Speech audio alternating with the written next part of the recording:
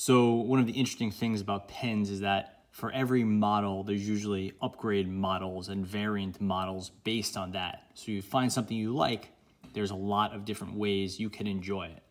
And that's not only different colors, but different variations, materials, upgrades. It's essentially the same pen, but in different versions. In this video, I wanna talk through three of my favorite upgrade pens. First off, we'll start with this one. This is called the Pilot Hi-Tecpoint V7. And uh, basically this is the Japanese model of the Pilot Precise.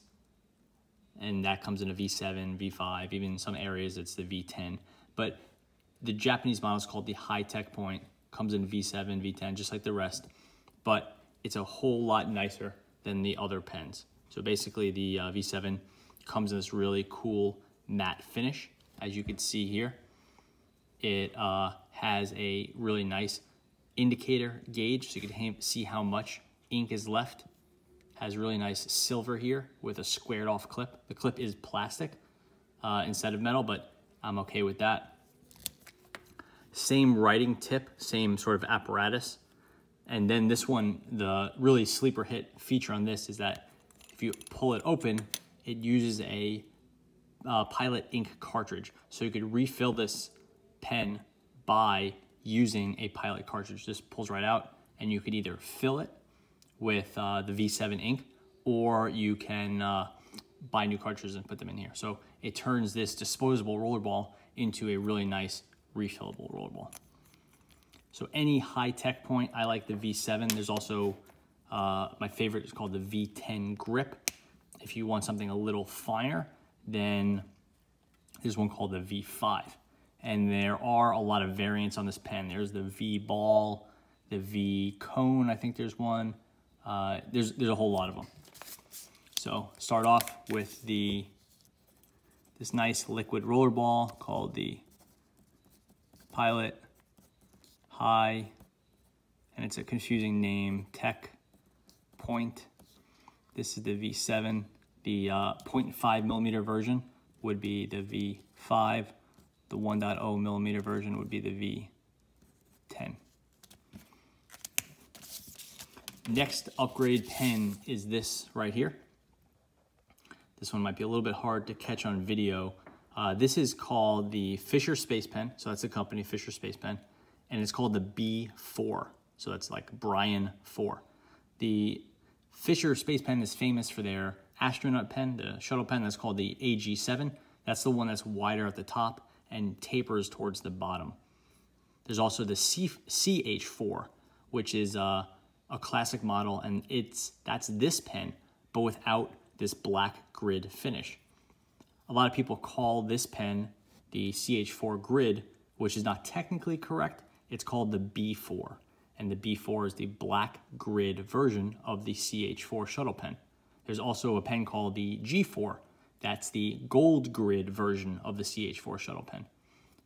So you could buy a CH4 these days for like maybe, I don't know, 35, 40 bucks, something like that. It's a pretty nice, it's a great pen. It's a pretty good deal. It's not that cheap, uh, but it has a lifetime warranty. It's beautifully made. It's a little bit small, which is my main grievance with it, but it's a beautiful pen. If you want to kind of blow it out a little bit, and move that $35 up to like $45, $50, then you could get this, the B4. And again, it's usually called the grid pen or the Fisher grid or something like that, but it has this engraved uh, grid, maybe it's etched, I'm not really sure, uh, grid on the pen. It's the same pen as a CH4, so it's straight, no taper, so it's not like the AG7, it's a little bit smaller. The click has the side release like the AG7, the release mechanism isn't quite as nice. It lasts really well, but it doesn't have as smooth and as clean a click action as the AG7. That one was really uh, something special, but it's still really quite nice. And it uses a standard Fisher PR4 refill, so that standard pressurized refill that everyone likes that writes underwater and upside down and all that. And then obviously the main difference is the black grid or the gold grid, depending on if you get the B4 or the CH4, uh, B4 or the G4 rather.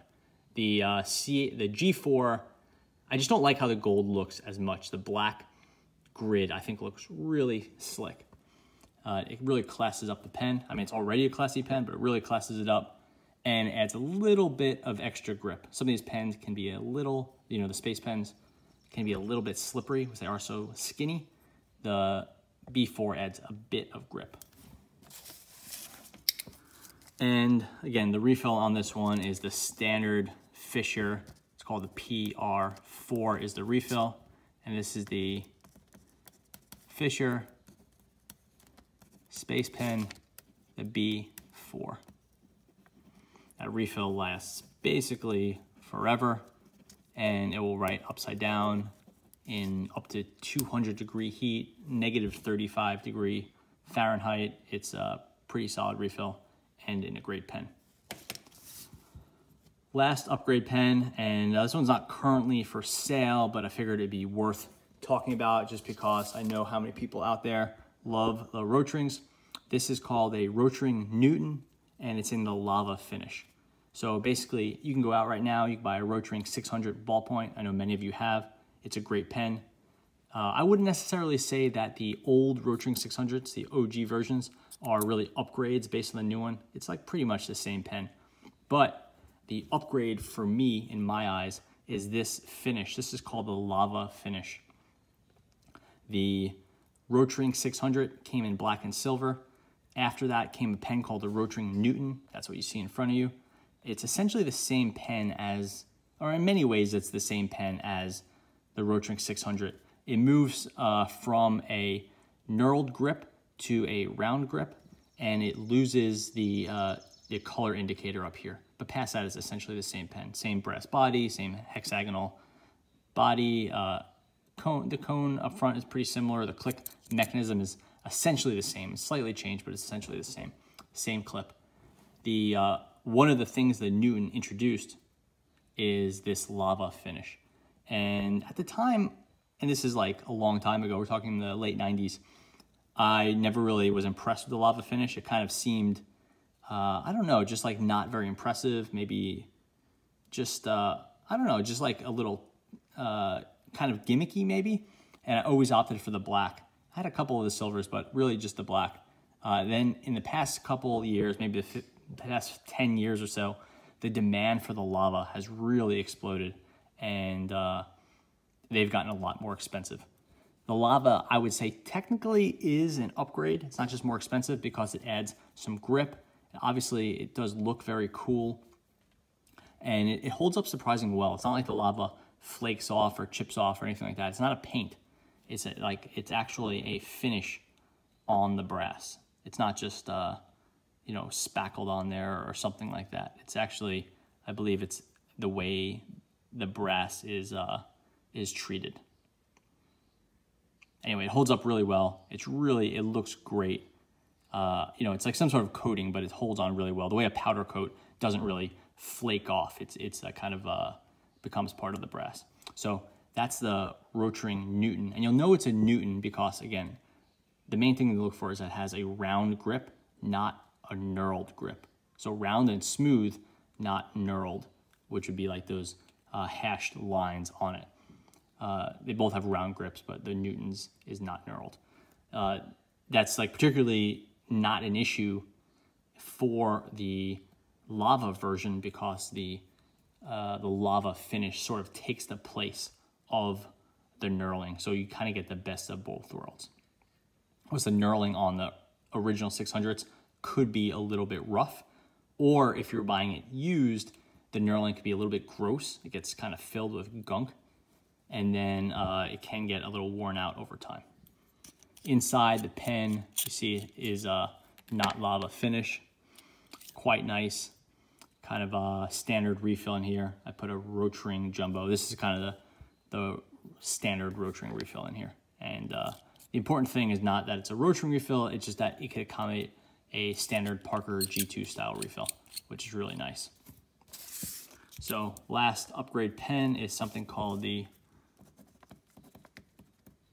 Rotring Newton. And uh, the Newton is a great pen, but not an upgrade on the 600. 600 is the original and probably the better pen, but the Newton with a lava finish, and now you're looking at something really special. Again, these are collector's edition and the prices have not only not dropped, if anything, they've increased as Rotring has gone ahead, gone ahead and released new versions of the 600 and 800 pens because in the 2018, 2019 versions, even the new 2020 pens, Rotring has released originally only black and silver, and then this year in 2020 they came out with uh, blue, green, and red, but they've yet to release anything in uh, the lava finish. So it's really sort of maintained its uh, its desirability with collectors. So that is just a brief look at the world of upgrade pens.